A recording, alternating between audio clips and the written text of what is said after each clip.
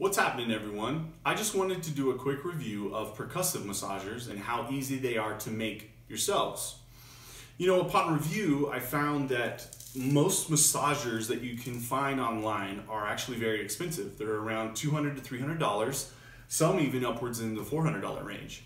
And it's ridiculous because this technology is not new and it's not expensive. For example, this is a corded Ryobi jigsaw. It was $40.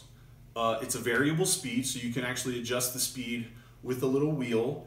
When you pull the trigger, it actually has an option to hold it in place so you don't have to keep your hand on the trigger the entire time.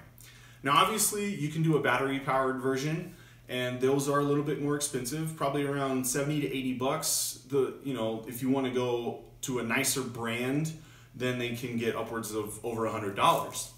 Um, I also Googled a massage tip for jigsaw, and this is what came up. This is a, a T-shank massage tip.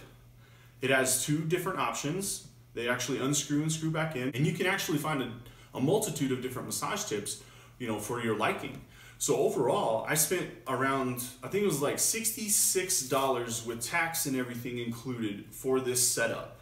And you know, if you want to get a little bit fancier, a nicer brand, uh, battery powered, you're going to spend probably around 100 to 120 dollars. But that's still a win in my opinion because a majority of those percussive massagers are over 200 bucks, and at half the price, you know, why not go for this option? and you're not limited to you know the specific massager that they give you because you can get different massage tips for these. So that's my review. Hope it helps. Thanks for watching.